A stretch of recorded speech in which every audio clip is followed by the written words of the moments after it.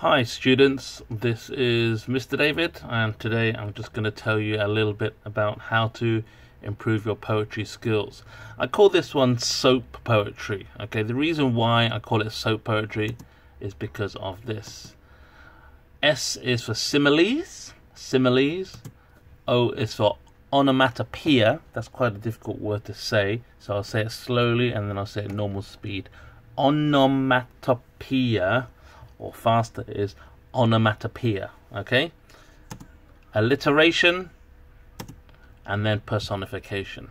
Okay, let me explain what those four things are using these next pictures. Okay, so similes, similes, busy as a bee. Okay, you can see here, or if I point here, busy as a bee, sparkle like diamonds. We're using the word like, sparkle like diamonds, hungry as a bear, flat as a pancake or hard as rock. These are what we call similes when you're using as or like. Here are some more examples here. I am as quick as a cheetah. My eyes are as blue as the ocean. My ears can hear like a rabbit. My brain is as smart as a scientist. My nose can smell like a bear and my heart is as big as an elephant. Okay, again, these are called similes. So that is S. Now, the thing is, we have to understand similes and metaphors are not the same. They're similar, but they're not the same. So let's have a look. Her, uh, her heart is like gold, is a simile, is like. But the metaphor is when you say her heart is gold, okay? It's not quite the same, it's similar but different. Her heart is like gold, is a simile. Her heart is gold is a metaphor. The next one. The world is like a stage. The world is like a stage. Everyone is a performer. But if you say the world is a stage, it's slightly different, and that is a metaphor. He eats like a pig. He eats very fast. He eats like a pig. Simile.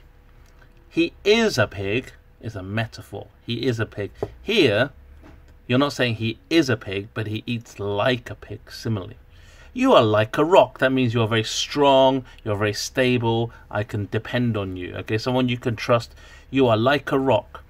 But the metaphor, you are a rock, it doesn't mean that you are a stone, but it means you are very dependable. I can rely on you. You are a rock is a metaphor. You're like a rock is a simile. Your eyes are like sunshine. Okay, your eyes are like sunshine.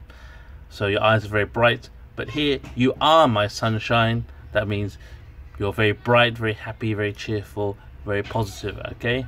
Similes and metaphors, not quite the same. Now, O in SOAP, soap, is onomatopoeia, okay? A word that imitates the sound it represents. That means words like splash, pop, and bang is onomatopoeia, okay? Words that make sounds. For example, if we can just lower it down a little bit, hold on. There we go we have gush. Okay, the flood water gushed through the town. Gush. The water is very noisy and is flooding through the town. It's gush. Okay. Hoot.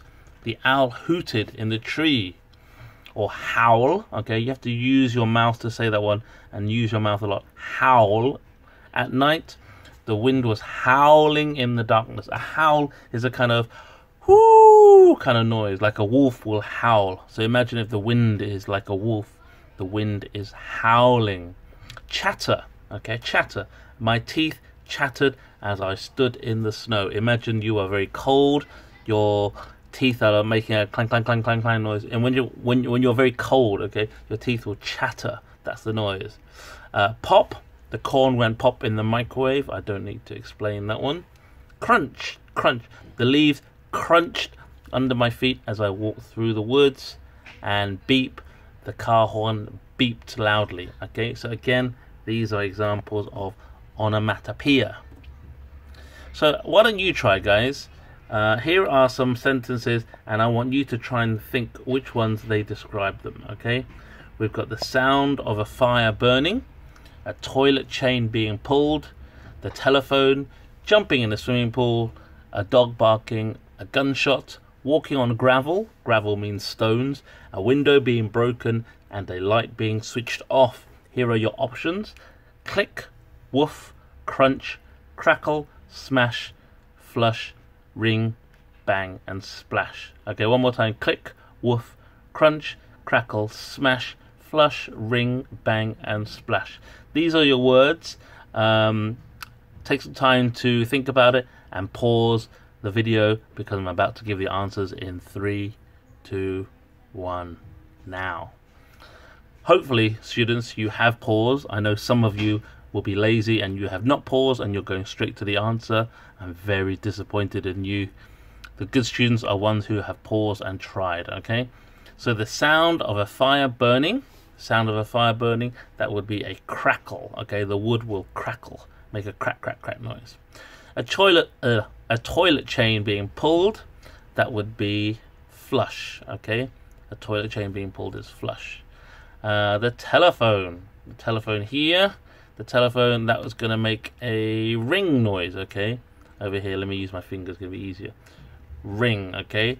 The telephone, ring, ring, ring, ring, ring. Jumping in a swimming pool, that is a splash. A dog barking, that is woof, woof, woof. A gunshot is a bang. Walking on gravel, that would be more of a crunch sound. Crunch, crunch, crunch. A window being broken, let's have a look. Smash is a window, and a light being switched off is a click. Okay? That's onomatopoeia. Now we move on to the next one, which is called alliteration. Alliteration, the use of the same beginning consonant sound in a line or verse. If you're not sure what a consonant means, in the alphabet, how many letters are there?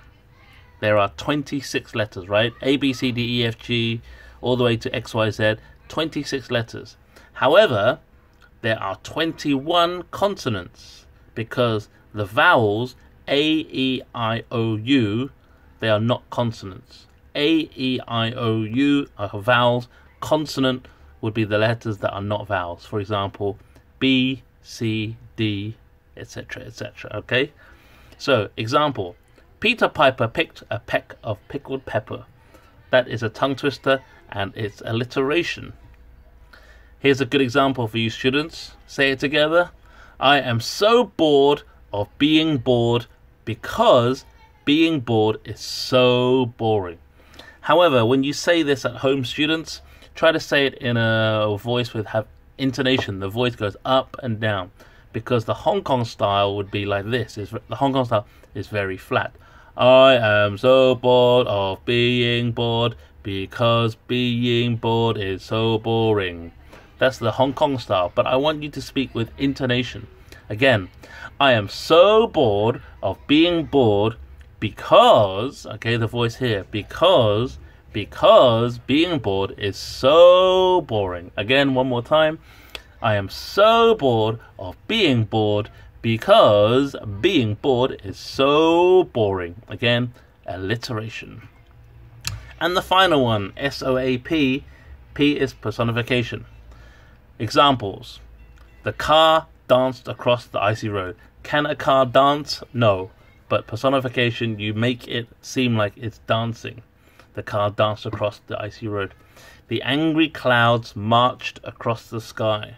Clouds cannot march, only soldiers can march. But in this idea of personification, you make the clouds like a person. The clouds marched across the sky. The stars in the clear night sky winked at me. Okay? Winking is what you do with your eyes. Imagine if a boy saw a pretty girl and the boy winked at a girl. That's when you close your eye, one eye, okay?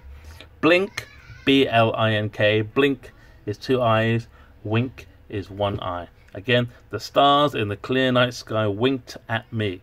The stars cannot wink, but personification means that the stars are winking. And finally, the tulips, which are the flowers here, the tulips nodded their head in the breeze. The breeze is a wind. So imagine the flowers are in the uh, wind and then they're kind of like they're dancing along, the wind is blowing them, and then the tulips, the flowers, are nodding their head in the breeze. Then that is personification. So again, if we just go back to the first page, remember similes, S, O onomatopoeia, alliteration, and personification.